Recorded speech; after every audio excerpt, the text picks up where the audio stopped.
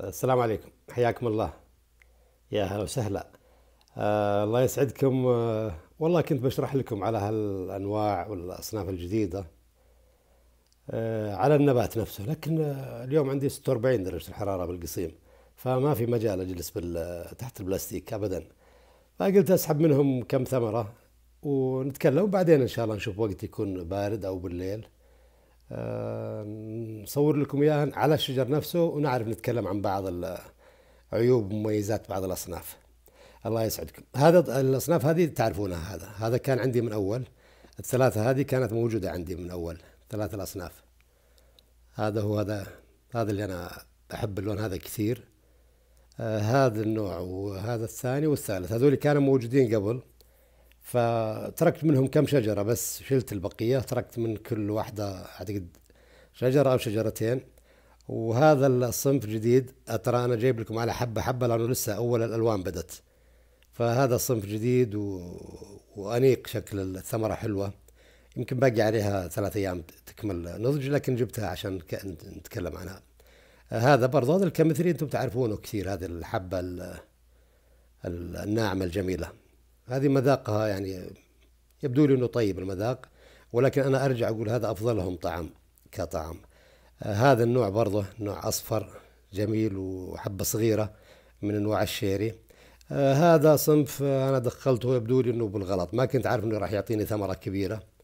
الثمرة كبيرة أنا ما أزرع الطماط عشان الثمر الحمد لله على النعمة كلها نعمة لكن أنا أزرعها كألوان. هذا أعطاني اللون هذا والحجم الكبير. وهذا صنف آخر أعطاني الحجم المتوسط باهت اللون. هذه أحجامها ما تكبر عن كذا. فلونها باهت طبعا الصنفين هذول مش اف 1 آه هذا الأسود تأخرت عليه طبعا كثير بالقطف وخربت الثمرة. هو قايل لكم أنا زمان ما عليه طلب الطماطم عندي بالبيت وال والواحد ما هو 24 ساعة بيقطف ويوزع خلاص يتعب. آه هذا الصنف مرة جميل جدا حبة كبيرة صفراء. يعني أنا أول مرة أستخدم أو أعرف النوع هذا الحبة الكبيرة الصفراء. جميلة وزهرتها برضو أجمل.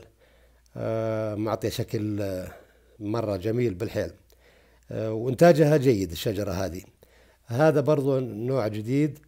إنتاجه غزير جدا جدا هذا النوع. جميل جدا. أخذ اللون البني. هذه تأخرت عليها برضو بالقذف تراها ناضجة. لونها اخذ البني حلو. يعني ما هو ذاك البني اللي قريب من هذا. هذا اللون تعرفونه أنتم كلكم الأول. هذا هو. فاللون هذاك أنا أعتقد إنه أحلى من اللون هذا. هذا فيه حزوز هذه جيدة يسمونه الشكلت فهذه الأنواع اللي تعرفونها. هذه أنواع دخلناها من جديد. واحد اثنين ثلاثة أربعة خمسة ستة سبعة ثمانية. مع الثلاثة هذه صارت 11 11 لون ما راح نقول صنف ولا نقول يعني نوع. خلونا نتكلم بالألوان أريح لكم وأريح لنا.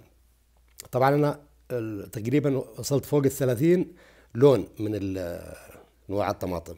هذه المدخلات الجديدة. بعدين إن شاء الله نتعرف عليها على الشجر ونتعرف على نوع الساق والمميزات والورق وأيضا نمر على نعرج على بعض أنواع التسميد لأنه دائما هذه بس توصية على السريع. اللي يشوف عنده شجرة طماطم أه ورقها كبير جدا هذا لازم يبعد عنها النيتروجين نهائيا يخليه خفيف قدر المستطاع لأنه راح تتجه الشجرة للنمو الخضري وراح تنسى التزهير والعقد.